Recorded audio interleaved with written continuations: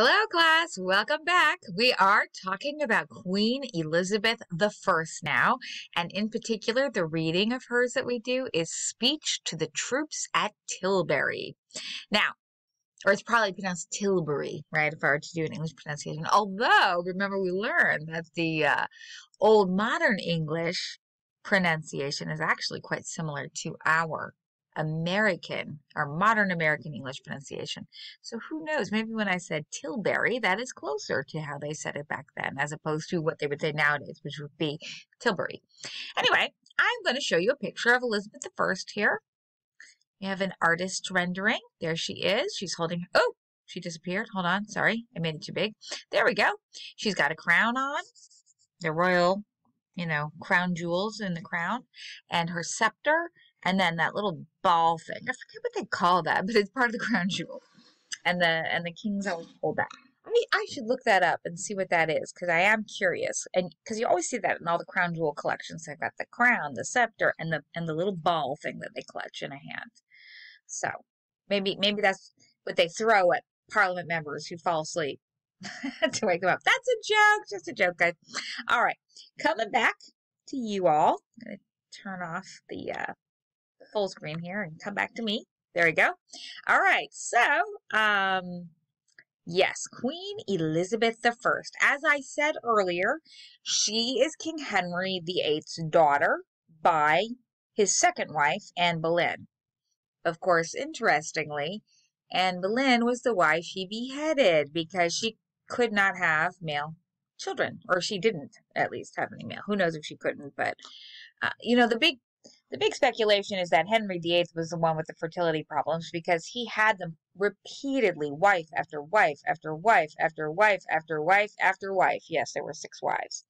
And he ended up beheading two of them. Um, I mean, he has some trumped up charges why he beheaded them, but you know, ultimately they were they were two women who did not produce a male heir. All right. And he divorced Catherine of Aragon, his first wife, when she wouldn't when she didn't produce a male heir, she just had a daughter. And then Anne Boleyn had another daughter.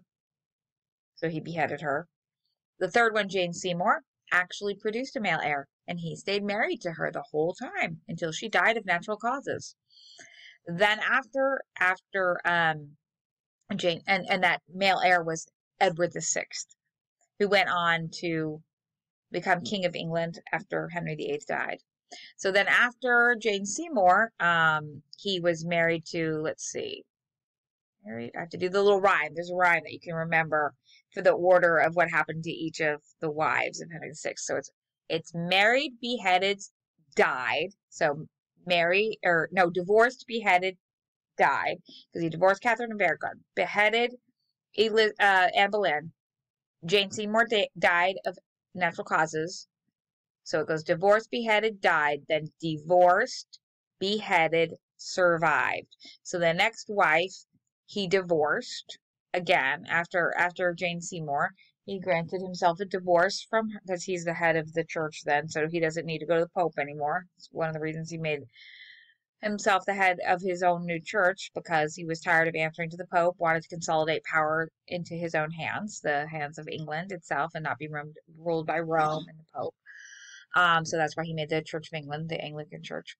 Uh, and then, um, let's see. Oh yeah, who is the wife after Jane Seymour? That was, Catherine. Was it Anne? Anne.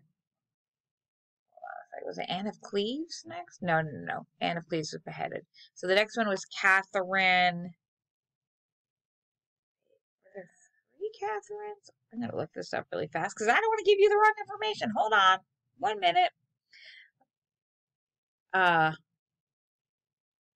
sorry. Just one moment. I'm going to get this information for you.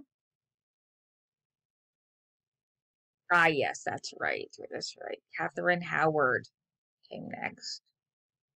Um, yes.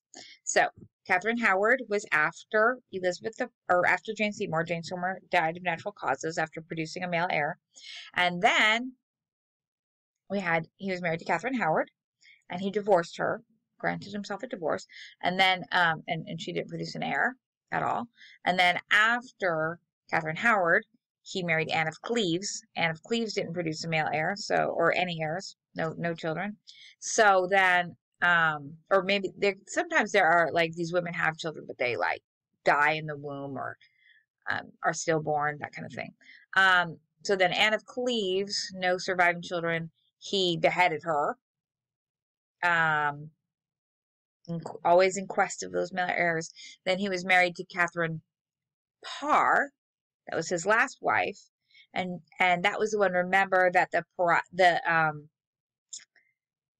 the and the Protestant leaders of England that thought that Anne Askew was too far out in her Protestant beliefs. He want, they wanted to, they thought that Catherine Parr was a friend of Anne Askew's and a co-conspirator in trying to talk Henry VIII into more quote unquote radical religious beliefs. But the, what the beliefs were was she was reading the Bible herself.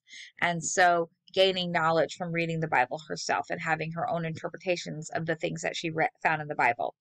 Uh, and so Catherine Parr um, was supposedly part of this circle as well. And so these um, these government leaders who did not want um, her to or want her to turn Henry VIII away from um, what they believed in, you know, so so that they could share power with him because he, they would be on the same belief, you know, plane. Um, they wanted and Anne Askew to uh, basically squeal on Catherine Parr and turn her in so that they could get rid of her. Uh, but as we know, Anne Askew withstood all the torture that even broke her legs so much that she had to be carried um, to where she was burned at the stake. So she never did turn in Catherine Parr. And Catherine Parr reconciled with Henry VIII because for a little bit, you know, they were saying, oh, she's doing these things. She's opposing you, and and you're getting into fights over religious beliefs. So she re- she was able to reconcile with him, and then he died not too long after. So she ended up surviving him. You know, I'll tell you, I don't know why any of Henry's wives married him after a couple of them had terrible demises because, you know, what goes around comes around. If he's marrying you because he killed the last one, why would you want to be his wife? I don't know, you know or maybe they're too scared not to be his wife. I don't know. Maybe maybe maybe they're worried about retaliation against their families if if they didn't marry him. Who knows? You know. But just a very very bizarre situation, you know, for us nowadays. You know, we we just it seems so so uh just alien to what we know, you know, that you would actually have a wife beheaded you know, so that you could get out of being married to her. I mean, of course, things like that happen, crimes of passion, right? But anyway, this was the head of the country, the king, doing this, you know? So, ay, ay, ay. If, imagine if our president did that. Yeah. Or, or if modern day King of England would do that. Or we don't have a King of England. We have a Queen of England now, Queen Elizabeth II. So anyway, Elizabeth I, interestingly, her mother was beheaded by Henry VIII because she produced a daughter, not a son. And then he trumped up charges saying, oh, she's having an affair or something or other or whatever, you know, uh, something that he could, you know, say, all right, she's guilty and um, therefore she needs to die. So uh, the funny thing is, is Elizabeth I went on to become the strongest monarch England has ever had, and she probably accomplished the most. She had incredible exploration happen while she was queen. She defeated the Spanish Armada. She expanded the British Empire. She enriched the British Empire. She had Shakespeare, you know, who produced his works. You know, she was uh, the Lord Chamberlain's men were paid. You know, they were the um the Lord Chamberlain who who worked for Queen Elizabeth I um, was a patron of Shakespeare's uh, play company, and um, it would have been they would have been called the King's Men because when there's a king, the the king supports uh, you know a playwright and that company is called the king's men. But because elizabeth was a queen and women were not allowed to be on stage i think they thought it would be a little unseemly for it to be the queen's men. So instead they said all right the lord chamberlain who is one of your chief servants he will then sponsor this this company of actors and playwrights that shakespeare was ahead of. And so they called them the lord chamberlain's men. Um, and then as soon as queen elizabeth died then the king supported them again. So there you go. Um, anyway, Uh, Queen Elizabeth, extremely successful ruler. She lived from 1533 to 1603. Um, of course, she's is the squarely in the Renaissance time period, and she lived to the age of 70, so very healthy for the time period. Of course, she's getting all the best care, you know, best nutrition and medical care that's available because she's the Queen of England, right? Um, of course, what they know about medical and healthcare is nowhere near what we know nowadays. So, like, they were still like doing crazy things like bloodletting and, and things like that, where they think, oh, you're you're sick because you have too much of one humor or another humor. So we got to let that humor out of your blood. And of course, you're just driving people's iron counts down and um, making them very sick by doing that. Okay, so anyway, she ascended the throne of England and also became the head of the Church of England in 1558. Because remember, as the monarch of England, she's the head of the Church of England as well, because that's what Henry established when he established the uh, Anglican Church. Elizabeth deftly walked the tightrope between females and males, uh, Protestants and Catholics, and war and peace, England and Spain, art and politics, virginity and community. So she had all of these opposites and she straddled them very, very nicely and was able to achieve this incredible balance um, because the Church of England was still very, very new, and so it definitely had its opposition in former in people who were Catholic and who still supported the Catholic Church. In fact, Henry VIII, you know, church, he headed the Church of England. He, he, he um, started it and headed it. And then his son, who took over after he died, Edward VI, continued on. But then after Edward VI died, because Edward VI was kind of sickly, he ascended the throne when he was about 15 years old. Didn't last very long. He was kind of sickly. Again, they attribute it maybe to like the gene pool of, of Henry VIII because he wasn't able to have very many like healthy offspring.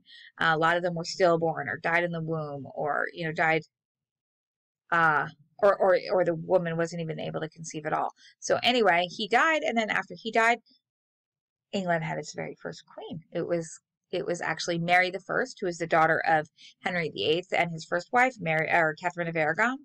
Um, and so Mary the First, she had been raised, or her mother had been raised in Spain, and so she was very Catholic. And uh, so they never gave up the Catholic Church. And Mary the First, when she became queen, she said, "Nope, that's it. England is returning to Catholicism. Enough of this Church of England. We're going back to the true church, the Catholic Church. And so then anybody who was Protestant or, or Anglican Church of England was on the outs and they couldn't have governmental positions, and all the Catholics could. And uh, she was also nicknamed Bloody Mary because she would um, torture people and, uh, you know, kill people uh, that that um, did not support her causes. Okay. And then after she died, Elizabeth I became queen. And Elizabeth I actually was, uh, she supported the Church of England. So she returned the whole country to the Church of England and said, okay, nope, now the Catholics are on the outs and the Church of England or Anglican church members are the ones who hold all the governmental positions. Um, and are the ones that are on the up and up with uh, society and the law.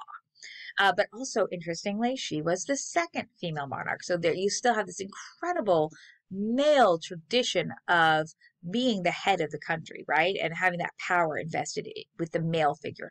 So, you know, there are a lot of people who are like, oh, there's a female on the throne again. I don't know how I feel about this, you know, even though she is at the head of the great chain of being and she's like God's intended, right? But I don't know. Is she God's intended? She doesn't support you know, the Catholic Church. She's back, we're back to the Church of England, or she's a female, not a male. Um, her mother was Anne Boleyn, who was beheaded, and therefore, you know, we've got this bad influence, right? Because she must have been bad because she was beheaded, right? So some people even called her illegitimate because they considered that marriage illegitimate because Henry VIII ended it in murder. Um, well, it was legitimized murder by him. So I guess what do we we don't call that murder, right? If it's legitimized, I guess that's legal killing then. All right. So anyway, um a lot of people opposed her then because of that. So she had to very delicately balance all these factions in England, and she did it quite well. And she even had to balance herself against Spain, a very important enemy. Not only an important enemy, but that was like, you know, her, what do you call it, her half mother, Mary's mother, Catherine of Aragon, she was from Spain, and the whole reason Henry VIII married her was to try to broker better relations between those countries. But it erupted an all out war because England and Spain were vying for the same colonies in the New World. They were fighting over who got what, who got the most treasure, and they had pirates attacking each other's ships